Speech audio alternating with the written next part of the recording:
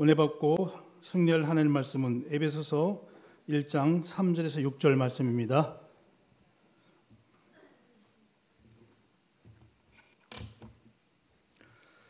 우리 같이 한 목소리로 어, 에베소 1장 3절에서 음, 6절 말씀 한 목소리로 합독하시겠습니다. 찬송하리로다 하나님 곧 우리 주 예수 그리스도의 아버지께서 그리스도 안에서 하늘에 속한 모든 신령한 복을 우리에게 주시되 곧 창세전에 그리스도 안에서 우리를 택하사 우리로 사랑 안에서 그 앞에 거룩하고 흠이 없게 하시려고 그 깊으신 뜻대로 우리를 예정하사 예수 그리스도로 말미암아 자기의 아들이 되게 하셨으니 이는 그가 사랑하시는 자 안에서 우리에게 거저 주시는 바 그 은혜의 영광을 찬송하게 하려는 것이라. 아멘. 신앙 고백하겠습니다. 다 같이 주는 그리스도시요 살아계신 하나님의 아들이십니다. 아멘. 옆에 분과 인사하겠습니다. 우리는 예원 공동체입니다. 야, 내일 현충일이라 오늘 오신 분들은 어, 하나님의 자녀요. 그럼 안 오신 분은 하나님의 자녀가 아니라 그건 아니고 여러분 그리스의 제자인 줄 믿습니다. 아, 읽어드린 말씀을 가지고 창세전에 나를 선택하신 하나님, 창세전에 나를 선택하신 하나님. 아, 서론적으로 어, 저는 주일 2부, 어, 2부 말씀, 아, 사도행전 9장 20절에서 21절 말씀, 음, 로마도 보아야 하리라는 제목으로 김승수 목사님께서 말씀을 전해주셨는데 저는 3부 사회였기 때문에 교육자실에서 모니터로 예배를 드렸는데요. 제 마음속에 감동이 되어지고 감격이 되어졌던 거가 있는데 그게 뭔가면 여러분도 잘 아시겠지만 어, 그 어르신도 사실은 개혁총회에서 내놓은 분이고 어, 목회를 평생 하셨던 분이고 원로 목사인데도 불구하고 예홍께서 설교 한 번 하는 게 평생 소원이랐으니까. 주여 저는 왜 하는데? 어, 그거 보면서 예홍교라는 것과 이 정문재 목사님이라는 위치와 영향력이 어, 우리 교단에서는 대단하구나라는 그 속에 내가 부교역질에 있다는 것이 감격이었고요. 어, 또 지나온 시간들이 감격이었다는 것들을 좀 떼고 또 다락방 우리 전도 운동 속에 있다는 자체가 어, 큰 축복이다라는 것을 확인했습니다. 3부는 제가 이제 사회자로 섬기면서 우리 정무식 선교사님 뵈면서 이제 VIP실에서 잠깐 얘기를 했는데요. 여러분 알겠지만 저는 스타일이 곧습니다. 어, 보기보다 저는 예리합니다. 그래서 막 붕뜬 거 싫어합니다. 그리고 우리 아이들이 청년부인데 우리 집 교훈이 그거예요. 아빠 제발 율법을 누르지 말라 그러는데 우리 집 교훈은 들뜨지 말아라. 안 됐는데 된 것처럼 돌아다니지 말아라. 그게 이제 우리 집 교훈입니다. 우리 교회가 워낙 크기 때문에 너 개인이 안 될 수도 있다. 교회가 축제고 교회가 부흥되어지고 뭐가 다 될 것 같지만 너는 안 된다. 아니면 아니지만 아, 그래서 저는 뭐 정무위 성경 저하고 성향이 다르잖아요. 근데 이제 대화 나누다가 이제 이렇게 5분 전에 이제 예배를 인도하면서 이렇게 이제 들어가는데 갑자기 눈시울이 딱 마음속에 드는 게 뭐냐면 제목이 만 어, 만민에게 복음을 전파하는 거잖아요. 온천에 다니면 만민에게 복음을 전파하는데 이 만민이라는 말, 온천하라는 말은 우리의 장사가 아닙니다. 우리의 목회가 아닙니다. 우리의 전도가 아닙니다. 여기만 하는 것이 아니라 온천합니다. 이용교만 아니라 전 세계예요. 그 2, 3, 7, 5천 정도 다니는 선교사님 보면서 아, 대단하다. 더 기도해 드리겠다. 이게 마음에 진한 감동이 있었습니다. 그게 아, 2부, 3부 저에게 아, 레마로 다가온 것입니다. 여러분 여러분 나름대로도 뭐 이렇게 예배드리면서 느꼈지만 아 그래서 만민에게 땅 끝까지 여러분 우리 장사하는 거 아닙니다. 우리 부서 중요합니다. 우리 교회 중요합니다. 전 세계 하나님은 글로벌 237 5천 정조 예원교회 중요합니다. 그래서 이 나라는 것이 중요하고 우리 우리 부서가 중요하지만 또 전체라는 것도 중요하거든요. 네, 그런 것들을 제가 보게 됐습니다. 자, 저는 오늘 읽어드린 제목을 가지고 아, 나를 창세전에 선택하신 하나님, 나를 창세전에 선택하신 하나님 아, 이 말씀을 가지고 아, 제목을 가지고 이제 말씀을 전하고자 합니다. 아, 첫 번째로 우리가 기억해야 될 것은 첫 번째로 나를 아, 창세전에 선택하셨는데 어, 소주제가 뭐냐? 나를 구원의 축복 속에 부르신 하나님이다. 어, 창세전에 나를 선택하셨는데 나를 구원의 축복 속에서 우리는 종종 이런 질문을 하게 됩니다. 나는 왜 이런 가정에 태어났어? 나는 왜 이런 가문에 태어났어? 나는 왜 이런 부모님 밑에 태어났지? 내 출생이 어떻고 내 성장이 어떻고 이런 많은 질문들을 합니다. 저도 우리가 올라가 보지 않은 산을 오를 때는 궁금하기도 하고 힘들기도 하고 저 어떻게 올라가 그러잖아요. 그러나 산에 올라갔을 때 그것도 한두 번 올라간 것이 아니라 1년, 2년, 3년 그 산을 계속 다니다 보면 이제 올라간 상태에서 알죠. 저도 물론 맞습니다. 요즘 와서 나이가 들어가면서 더 나의 출생과 나의 가문과 나의 가정과 지난 이 모든 것들이 더 재해석되는 것 같아요. 그래서 그거는 이대지에 말씀드리겠지만 여러분 랩런트들 중에서는 지금 내가 태어나는 거, 우리의 부모 여러 가지 생각들을 많이 할 수 있는데 성경에서는 하나님이 미리 하셨다는 겁니다. 미리 하시고 로마서 8장 29절 30절에 보니까 이렇게 되어 있습니다. 8장 29절에 보면 29절은 다 읽지 않습니다. 하나님이 미리 아신 자들을 또 하나님 그 아들의 형상을 본받기 위하여 미리 정하셨으니 30절이 중요합니다. 30절에 보니까 또 미리 정하신 그들을 부르시고 부르신 그들을 또한 의롭다 하시고 의롭다 하신 그들을 또한 영화롭게 하셨느니라. 이 말은 창세전에 나를 선택하셔서 부르셔서 의롭게 하시고 영화롭게 했다는 것은 여러분 전에 몇 주 전에 우리를 변화선이라는 이 부분을 얘기하셨잖아요. 이 영화롭다는 말 물론 의롭고 구원과 또 성화와 영화라는 말은 이제 하나님 나라가서 완성되어질 부분까지지만 거기까지 다 책임진다는 얘기거든요. 그러니 하나님이 우리에게 이 구원의 축복 속에 부르셨다는 것은 엄청납니다. 그래서 바울은 오늘 에베소서에 뭐라고 표현하냐면 하늘의 신령한 복이다. 또 예수 그리스도로 말미암아 자기 아들이 되게 하셨다. 되어 있습니다. 5절에도 보면 예수 그리스도로 말미암아 자기 아들이 되게 하셨다. 그 피로 말미암아 곧 속량 제사함을 얻었다. 7절에도 되어 있습니다. 그리고 11절에 보면 그 안에서 기업이 되게 하셨으니 성령의 인침을 받았다 이렇게 되어 있습니다. 다시 말하면 창세전에 나를 선택하셔서 나의 구원 계획 속에 부르셔서 하늘의 신령한 복으로 속량 제사함 받게 하시고 그 하나님의 나라에 기업에 들어가게 하시고 그 피로 말미암아 속량 제사함을 얻을 수 있는 축복을 주셨다는 것이 엄청난 우리에게 주신 축복이라는 것입니다. 왜냐하면 우리는요 이 구원의 축복을 알면 알수록 다른 말로 말하면 복음을 알면 알수록 모든 것이 회복이 됩니다. 모든 것이 이 말 속에는 여러분 우리 종종 아까 얘기했지만 우리 출신 배경 가문을 보면서 하, 나도 한 번쯤은 금수저 가문에서 태어났으면 좋겠다. 물론 좋죠. 나도 한 번쯤은 이건희 회장, 이재용 회장 가정에 아, 그거는 너무 멀고 적어도 한 중소기업 한 천억 가지긴 아 그것도 너무 멀고 아 그럼 백억 그렇게 생각하면 맞습니다. 그것이 우리에게 큰 발판이 될 수 있습니다. 그러나 그것은 상대적인 것이지 절대적이지 않습니다.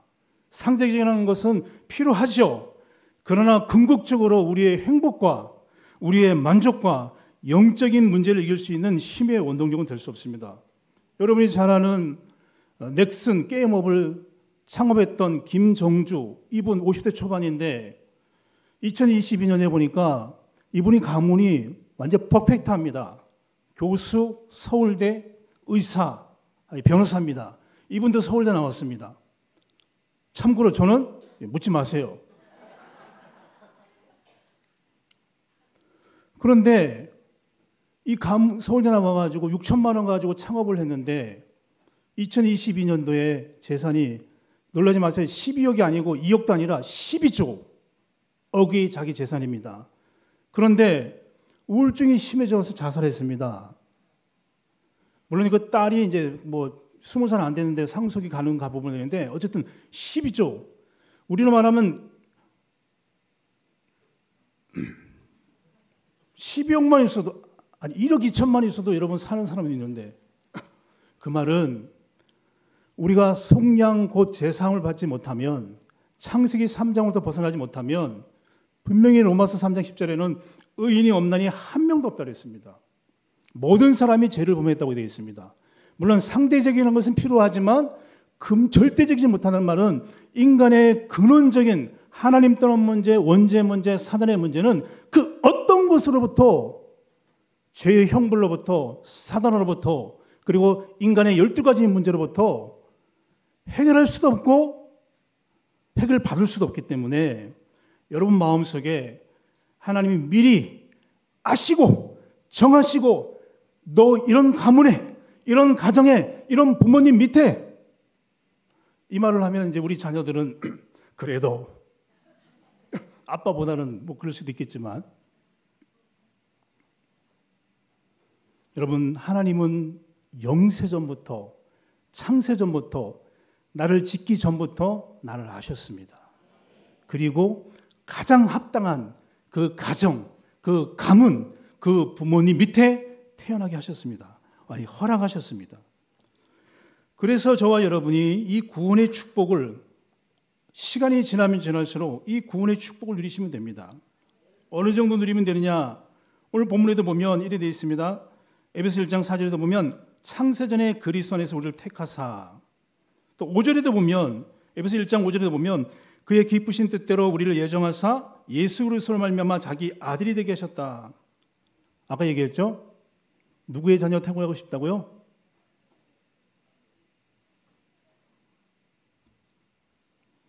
누구의 자녀로? 고 remnant 누구의 자녀로 되고 싶어요? 자기의 아들이 되게 하셨느니라 하나님의 자녀 영접하는 자, 곧 그 이름을 믿는 자들에게는 하나님의 자녀가 되는 권세를 주셨으니 이걸 몰라요. 세월이 많이 지나고 나서 여러분 뭐 마라톤도 마찬가지고 어떤 운동도 마찬가지고 어디로 갈 때 출발할 때는 너무 힘들잖아요.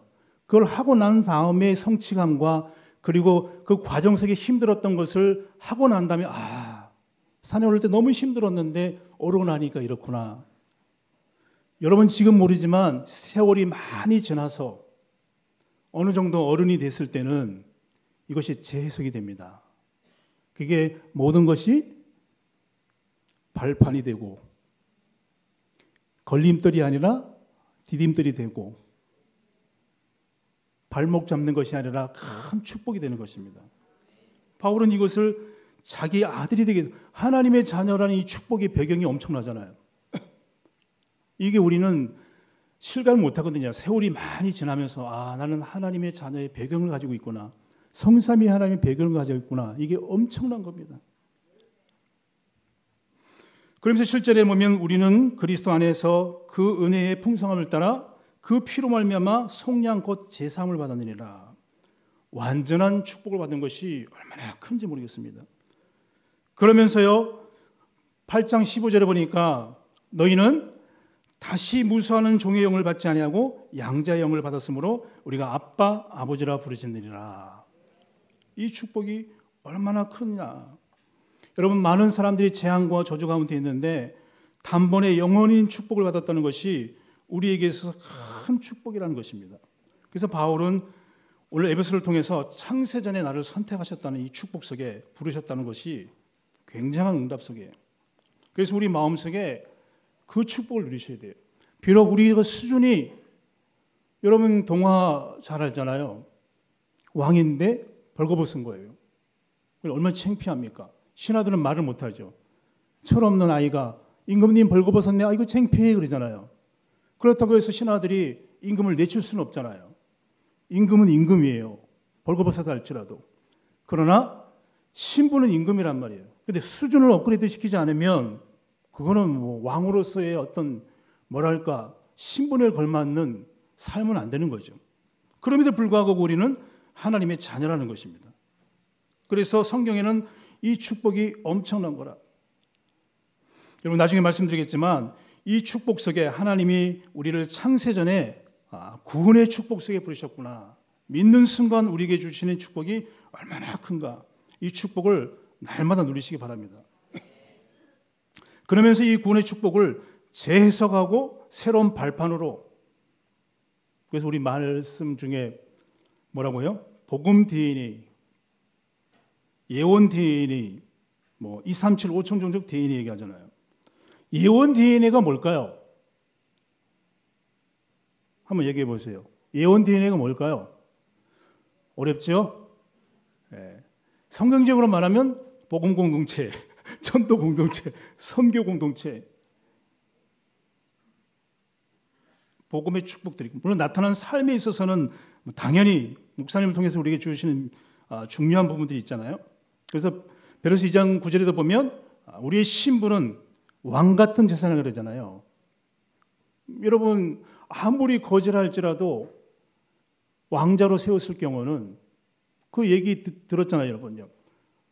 거지를 왕자가 돼서 잘못 이게 돼가지고 왕궁에 들어갔는데 옥새를 가지고 호도를 깨 큰일 나죠. 밥 먹을 때 손 씻는 물에 그리고 밥 먹고 나서 손 씻는 물을 마셔. 말하는 거, 행동하는 거 완전히 거지야. 하, 진짜 거지야. 근데 한 번 왕자로 세워졌으면 왕이 폐위시키지 않는 이상 왕자를 왕자는 왕자예요. 우리는 베드로서 2장 9절 왕 같은 제사장 거룩한 나라 그의 소유된 백성 어두운 데서 우리를 불러냈다고 얘기하고 있어요.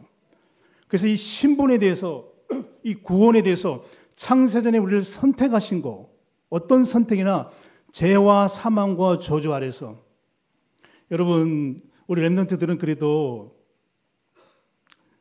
아 그래도 좋은 부모님 밑에 마음껏 쓸 수 있는 부모님 만났으면 좋겠다 할 수도 있는데요. 제가 이제 대교구장이잖아요. 장례를 많이 치르잖아요. 그럼 죽음 앞에서는 부자든 가난하든 어떤 삶을 살았든 아무 의미가 없어요. 아무 의미가 없어요. 우리가 봤을 때는 지금 뭐 몇십 년, 50년, 70년 남았잖아요. 그러니까 그럼에도 불구하고 그게 우리에게 상대적으로 주는 일반 은총이 하나님 축복이거든요. 물론 그걸 무시하지는 않아요. 그러나 절대적인 인간의 막다른 골목에 왔을 때는 네가 어떤 삶을 살았느냐, 네 가문이 어떠느냐, 수천억 가져도 수조 가져도 그거 가지고 천국 못 가잖아요. 지옥으로 떨어지지.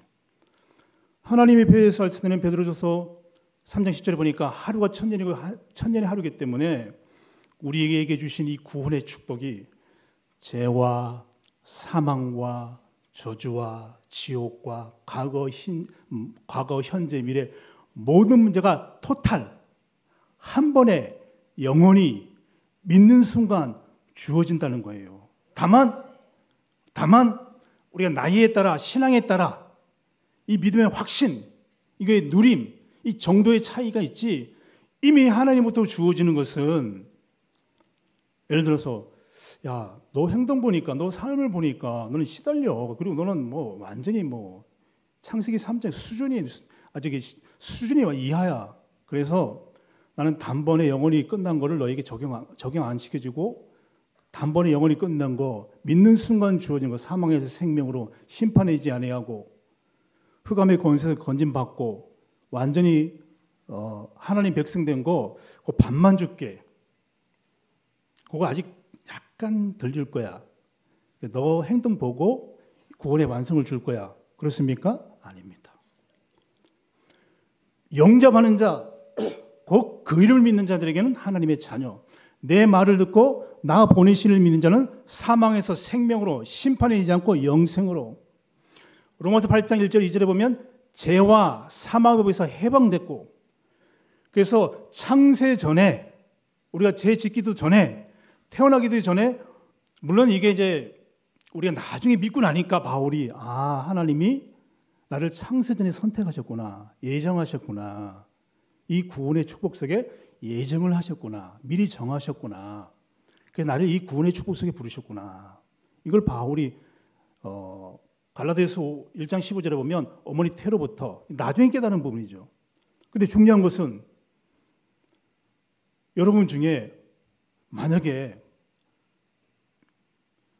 우리 목사님 대학 다닐 때는 이제 학력고사로 점수로 따졌거든요. 1점이 모자라 가지고 서울대를 못 갔어. 평생 후회할 거 아니에요, 그죠?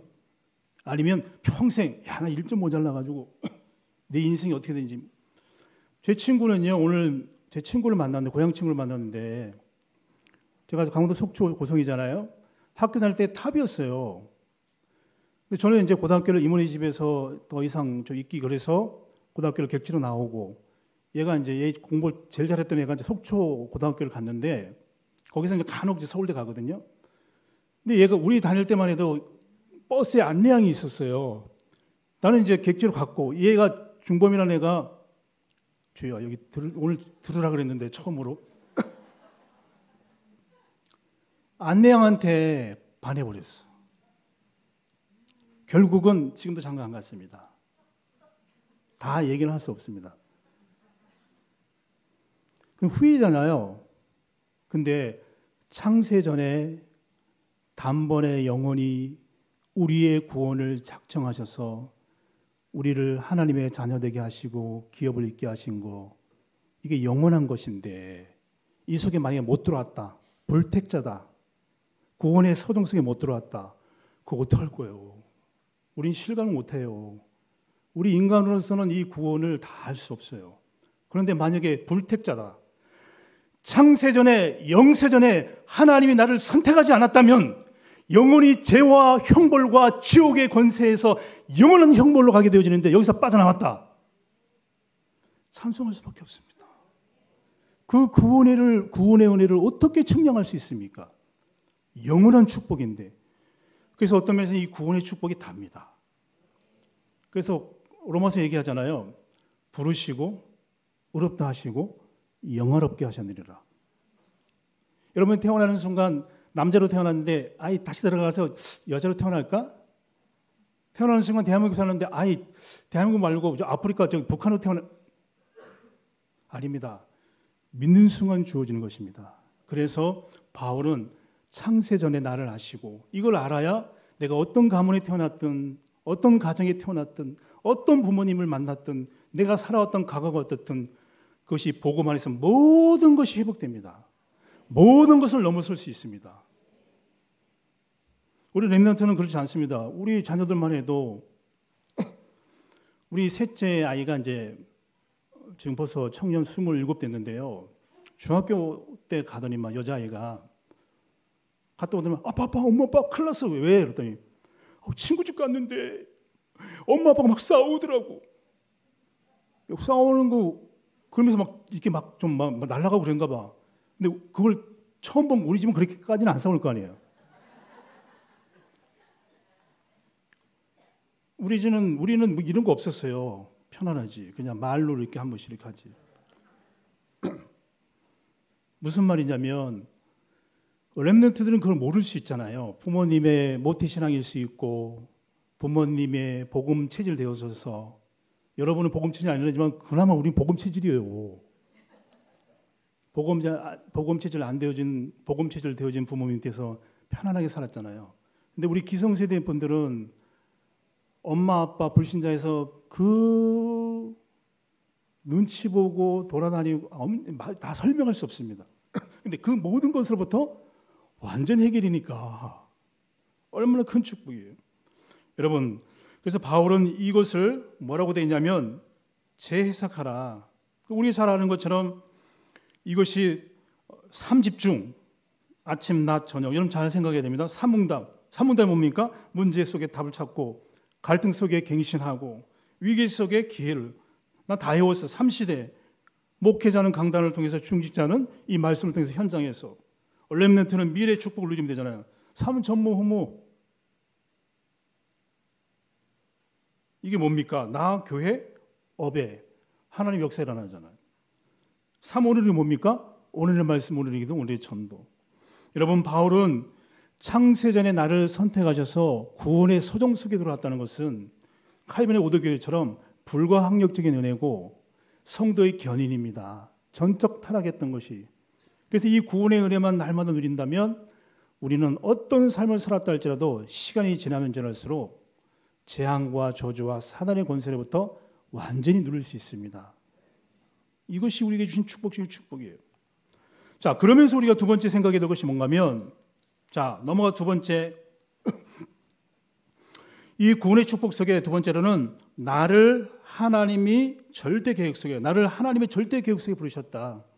옆에 보고 인사하시기 바랍니다. 나를 하나님의 나를 아니죠. 옆에 분을해서 당신을 하나님의 절대 계획 속에 부르셨습니다. 이 말이 무슨 말이냐면 바울은 이렇게 표현합니다. 아, 표현할 때 이 구원의 은혜 얘기하면서 3절에 보면 찬송하리로다. 5절에 보면 그의 기쁘신 뜻대로 6절에 보면 그 은혜의 영광을 찬송하게 하려 함이라. 14절에 보면 그의 영광에 찬송이 되게 하리라. 하나님이 나를 부르신 것은 저도 전에는 제가 한 가지 소원이 있었어요. 그게 뭐였냐면 제가 한 가지 소원이 뭐였냐면 돈을 많이 벌어서 저를 길러주신 이모님을 이모님에게 집을 사주는 거, 집을 지어주는 것이 제 소원이었어요. 목사 되고서 내 포기했어요, 이거를. 안 된다는 것을 포기했어요. 여러분, 세상적으로도 은혜 입은 자에 대해서 감사하는 마음이 있잖아요. 그럼 우리가 속량고 재산을 받고 하나님의 자녀가 되었고 그 엄청난 여러 렘넌트들이 경험하지 못한 운명과 사주발자 영원한 지옥으로부터 여러분들 지금도 가진 자들이 우울증으로 공황장애로 대통령이 정치인들이 누구도 우리 보로 말하면 다 가진 자들이 자살하잖아요. 이제 오늘도 보니까 저기 뭡니까 교육부 장관 지냈던 그 여자 그 국회의원이었던 교육부 장관 지냈던 남편이 아마 차에서 그런 것 같아요. 어, 자살 자살한 것 같아요. 정확하게 모르겠지만 그러니까 그 엄청난 축복인데 찬송하리로다 그 기쁘신 영광을 나타낸다. 다른 말로 말하면 복음 가진 자에게 복음 누리는 자에게 하나님은 하나님의 절대 계획 속에서 그 은혜의 영광을 찬송하도록 다른 말로 말하면 전도, 복음 전파, 선교하도록 저와 여러분을 부르셨다는 겁니다. 이것이 미션이거든요. 2, 3, 7, 5천 종족 복음하다. 그래서 아브라함은 창세기 12장 2절 3절에 보니까 하나님이 아브라함을 통해서 어떤 미션을 줬느냐? 하나님이 절대 계획 속에 부르셨거든요.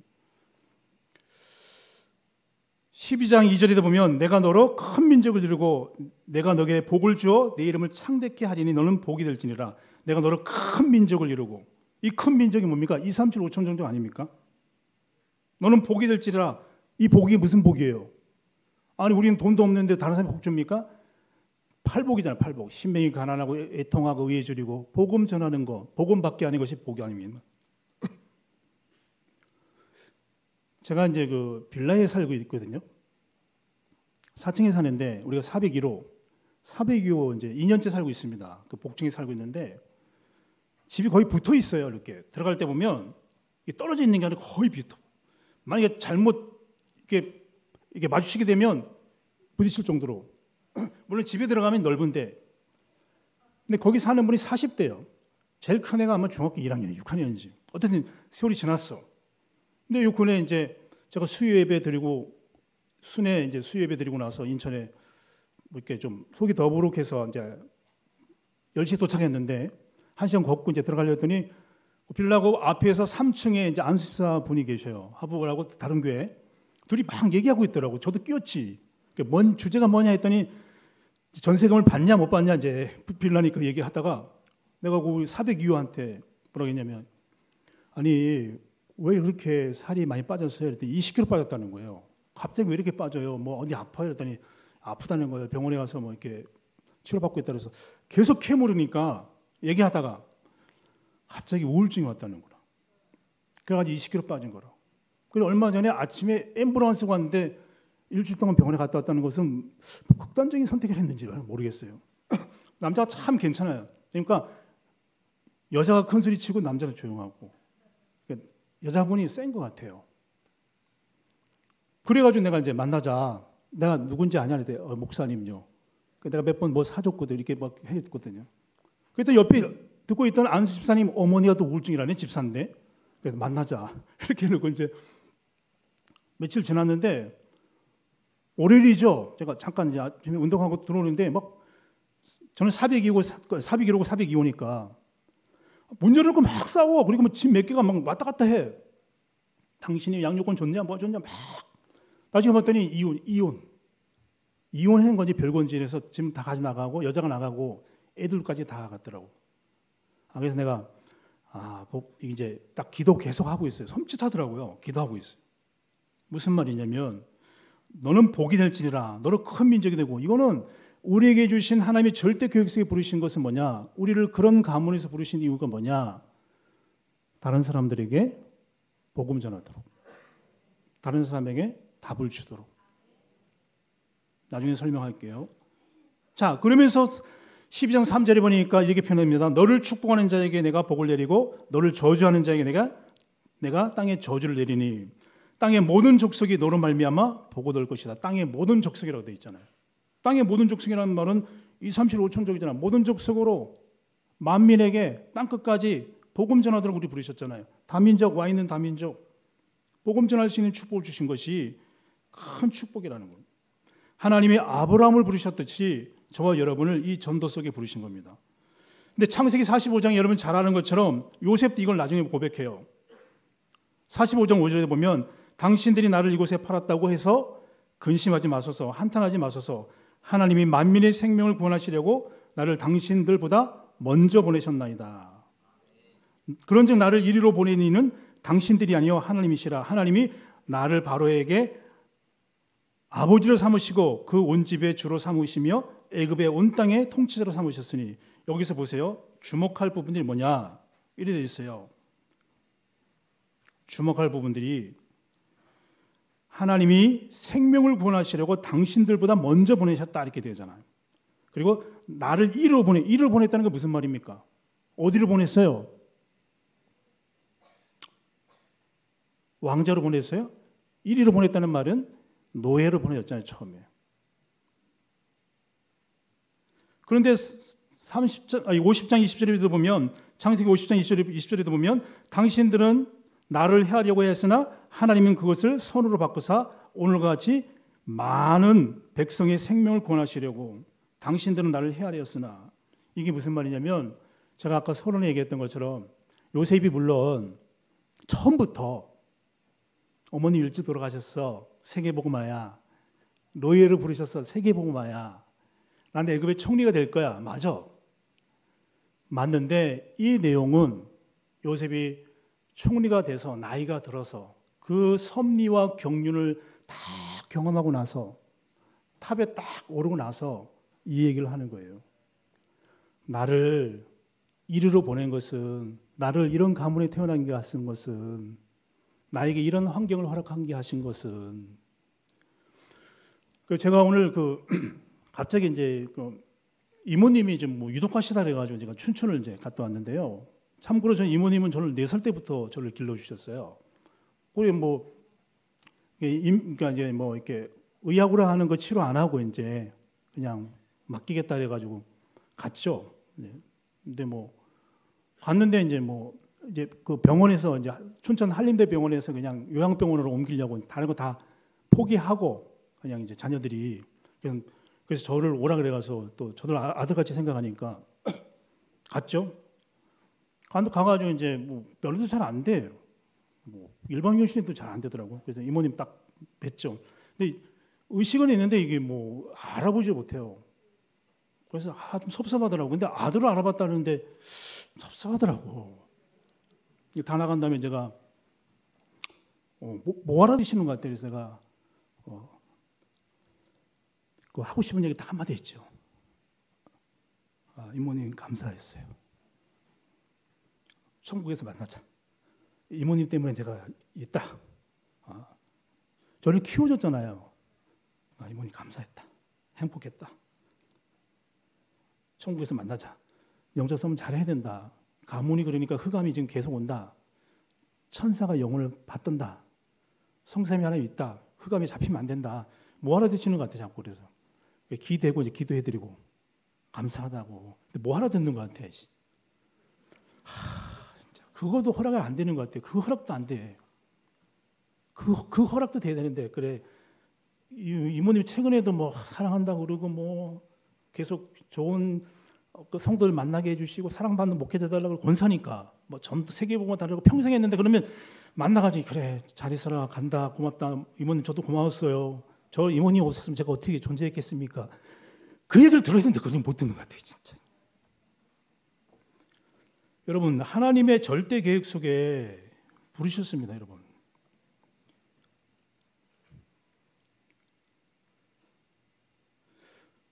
어, 그래서 저는 이게 이게 또 설계 망치게 생겼네. 그러니까 요셉이 그 표현을 하는 거예요, 여러분. 하나님이 생명을 구하시라고 당신들보다 먼저, 먼저 노예로, 먼저 어머니 가게 하시고, 먼저. 여러분, 먼저 안 가려고 그러잖아, 지금. 사서 고생 안 하려고 그러잖아, 지금. 근데 이 시간이 지나고 나서, 세월이 많이 지나고 나서 우리가 해석되는 거지, 여러분 보고 강요하는 건 아니에요. 그냥 그렇다는 것만 알고 계셔. 그리고 요셉은 8절에 그런즉 나를 이리로 보내는 당신들이 아니다. 이렇게 보낸 것은 당신들이 아니고 하나님이다. 왜? 복음 제대로 알고 영적 문제 제대로 알고 미션 제대로 깨닫고 남은 생에 복음에 올인할 수 있도록 그래서 여러분 오늘 말씀의 요지 중에 창세전이라는 단어 기억하셔야 되고요. 나를 선택했다는 걸 단어를 기억하시고 두 번째 대지는 그 부르시는 그 영광을 찬송하기 위해서 부르셨기 때문에 그래서 렘넌트들은 뭐 이거 포함되는 얘기는 아니지만 어른들 그리고 여러분 환경이 어려운 분들 나이 드신 분들 지금 여러 가지 막 저쪽 산 중에 막 진태양에 있는 분들 아직 남아 있다. 지금 아직도 우리에게 미션이 있다. 세계복음화의 기회가 있다. 우리가 남은 동안에 아직 오지 않았다. 그래서 저는 이거를 전에 담임 목사님께서 늘 얘기하시면은 용 목사님도 그렇고 뭐 아직 선언이 있다 뭐 아직 시작도 안 했다. 우리 예원께는 아직 주여 이게 몇십 년 지났는데 아직 하시니까 연세도 있으시고 하는 것 같은데 아직이라고 자꾸 하고 이 목사님도 지금 30년째 가고 있는데 지금도 시작도 안 했다 그러니까 진짜 이게 뭐야 이게 30년 갔는데 무슨 아직도 안 됐다 그래요. 뭐 언제 될 거냐고 지금. 근데요 하나님은 아직입니다. 아직 우리에게는 남아 있습니다. 그것이 하나님이 주신 축복이라. 여러분, 저와 여러분을 복음에 재해석해서 우리에게 남아 있는 사역이 있습니다. 그래서 그 사명을 감당하도록 끝난 것이 아닙니다. 시작입니다. 그래서 사도행전 19장 20절에 보면 이와 같이 주의 말씀이 힘이 있어 세력을 있는 세력을 얻어 가지고 막 왕성한데 거기에 안주하지 않잖아요. 다시 도전하잖아요. 그러니까 아직이란 단어예요. 꺼지지 않았습니다. 우리에게는 하나님께서 주신 축복의 기회가 있어요. 23장 11절에도 보면 핍박이 오고 문제가 오는데도 불구하고 탐대하라. 예루살렘에서 증거가 같이 로마에서도 증거하리라. 기회가 있는 겁니다. 여러분 잘 아는 27장 24절도 보면 그 유라굴라 강풍의 인생의 풍랑 가운데 있어서 파오라 두려워 말라 카이사 앞에 서리라 아무리 흑암이 불신앙이 온다 할지라도 여러분 영적 썸이 있어서 가지고 다른 사람들에게 영향력을 끼칠 만큼 하나님은 여러분의 인생을 재해석하도록 그래서 새로운 응답 속에 들어갈 수 있도록 우리에게 주신 축복이라는 사실을 기억하시기 바랍니다. 우리가 조금만 집중하면 됩니다. 삶 집중하면 되고 뭐 망대 뭐 여정 이정표 하면 되고 완전히 그냥 여러분 창세전에 나를 선택하신 분이 더 강해요. 그 이후에 타락 가운데 있는 흑암이 강해요. 우리 체질이 강해. 당연히 성삼이 하나님이지. 다른 사람 살리도록 창세전에 나를 선택하셨습니다. 이 복음을 누리면 모든 것이 다 풀려갑니다. 다 회복됩니다. 결론. 저와 여러분은 영원한 것을 가진 자입니다. 누리면서 기다리면 됩니다. 영원한 작품을 나눌 것입니다. 오직과 집중하세요. 그러면 여러분은 모든 것이 회복되집니다. 영원한 유산을 위해서 도전하시기 바랍니다. 그러면 하나님께서 저와 여러분을 통해서 성삼위 하나님의 완전한 축복 속에 여러분을 부르셔서 그 전도자로 세우셨다는 사실을 누리시기를 예수 그리스도로 축원합니다.